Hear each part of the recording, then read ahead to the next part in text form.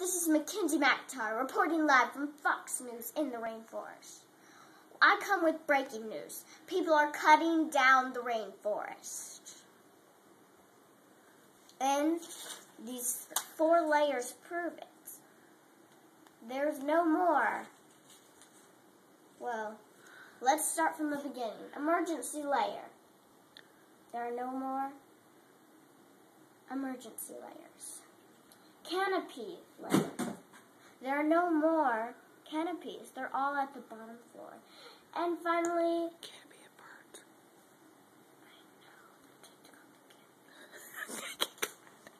anyways, and finally they cut down the last one in the air. The uniforms. Okay, superhero. So everyone is on the fourth floor.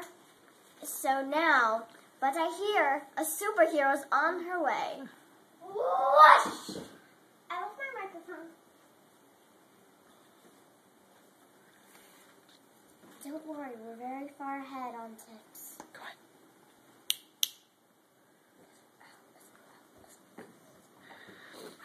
Oh, man.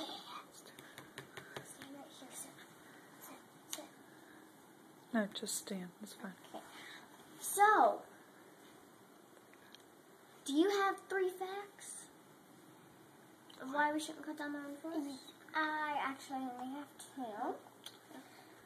It provides us oxygen, and there are homes to many tribes there. And my three fa- my three facts are the rainforest.